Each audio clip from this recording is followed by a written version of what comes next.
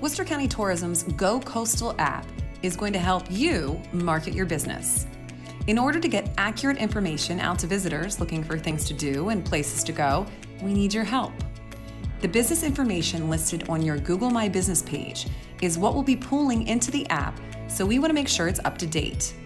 Checking your page and making updates is easy. Here's how. Open Google Chrome and go to business.google.com. Sign into the appropriate account that manages the business. Once signed in, you'll see your listings dashboard. If you have multiple listings or locations, choose the location you want to manage. Click View Profile,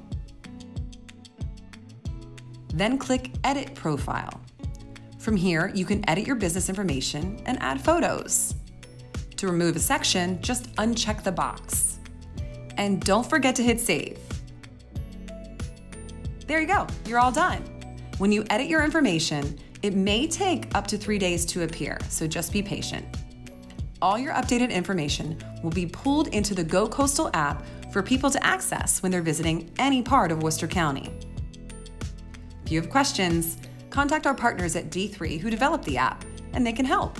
Good luck!